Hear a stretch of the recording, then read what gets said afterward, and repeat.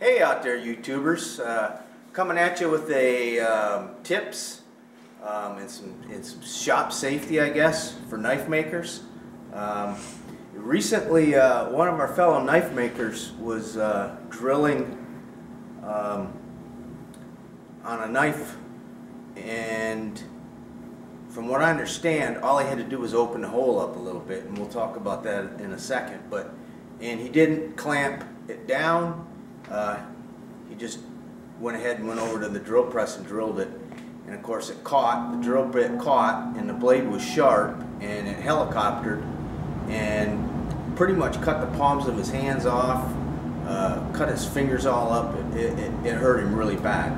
Um, I learned a long, long, long time ago, always clamp stuff down when you're drilling it because uh, stuff like that happens. Um, I never got injured, but I have had stuff get caught in helicopter. Um, right after that happened, I was watching a uh, YouTube video of a fellow, uh, fairly prominent knife maker, and um, in that video, he he pretty much uh, does all the forging, does all of that, and his wife does the drilling of the tangs and uh, the, uh, a lot of the handle work. And sure enough, um, during their demonstration, he handed her off a blade and she walked over. They had two drill presses set up with a, a drill vise, a vise on each uh, drill press with, the, with them opened up with a gap in between. She never once clamped them down. She just drilled and uh, when she went to the next uh, procedure, one of those blades caught and rode up the drill bit. Uh, she was wearing gloves. I, if I remember right, I think. Anyway, she grabbed hold of it real tight it, and it didn't get loose. But it did it did ride up the drill bit, drill bit, and that's probably uh, more so with a larger drill bit than say an eighth inch drill bit. Anyway, um, this is my drilling jig that I use, um, and it's it's about due to be replaced. It's got a lot of holes in it, but um, this is all you need, and you can get these clamps from any uh, woodworking supply. Um, I got these years ago. I've got a whole a whole bunch of them. Anyway, you just uh, you just take your material and uh, clamp it down. You're nice and flat and square. You can go in on your drill press, do your drilling.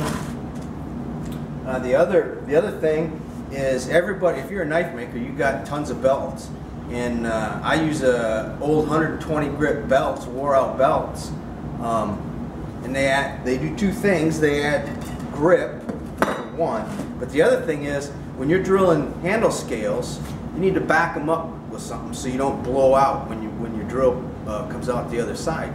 So I used to use uh, little pieces of wood like I'd save like paint stir sticks and stuff like that, and you were always having to adjust your your clamps. And then one day I just thought, I need something fairly uh, rigid that I can put in there.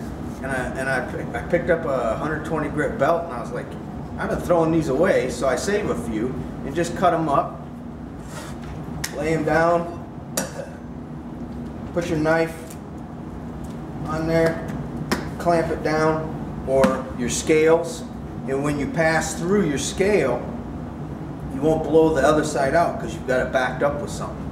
So that's a tip for that. The other thing I want to talk about is drill bits. Um, I see a lot of guys struggling, uh, say they're going to use an eighth inch pin.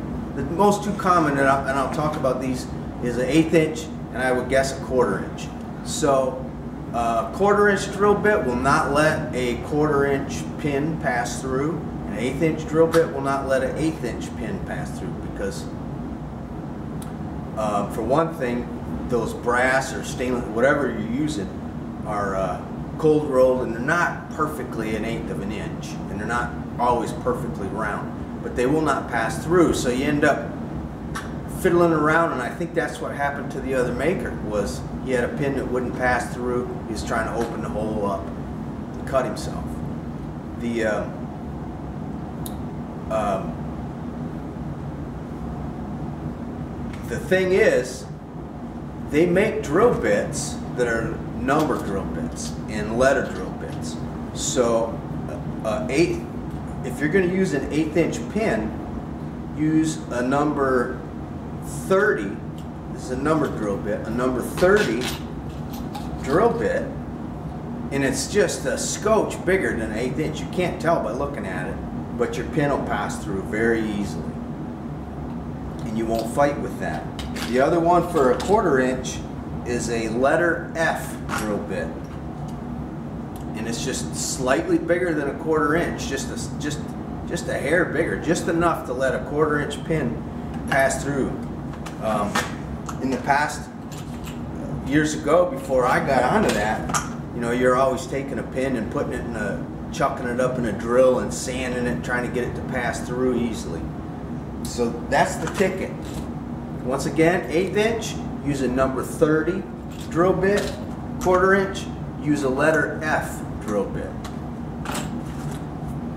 So, in another uh, instance, there was a gentleman that was struggling to, on his first hidden tang knife, and he couldn't he, he, he couldn't get files to work. He just wasn't able to get the hole opened up.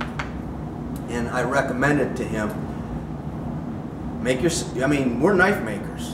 We make tools. Make yourself a broach and make yourself a chisel. And I saw the ones that he did, and, immediately they were way too big. I knew that. But I, I'll give him points for trying. So on, and this one's a short-handled one. I've got some longer ones. This is a, uh, a eighth inch, and then it's rounded, and then comes down to a nice chisel point. That's just a nice little chisel to go in and work in your in your slot for your hidden tang. And then this is a broach. And the way this works is, is you run it down in and then hook and, it, and it'll clean that hole out. Um, and you're not trying to do a massive job in one shot. You're not trying to rip it all out of there at once. You just keep using this little tool and hopefully that's picking that up.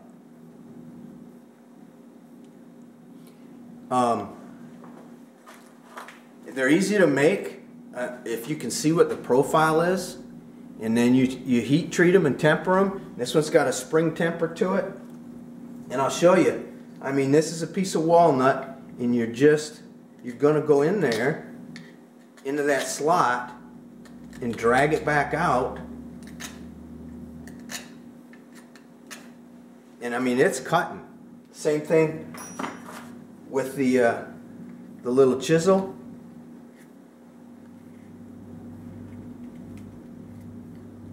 and you and you work it until until your tang fits in there the way it should fit. Anyway, those are the tips I got for today. Thanks for watching, Paul from Alaska. Uh, God bless. Hey, if I don't, if you don't, I don't get another video out before Christmas. Merry Christmas uh, and uh, Happy New Year. God bless everyone. Take care, Paul from Alaska.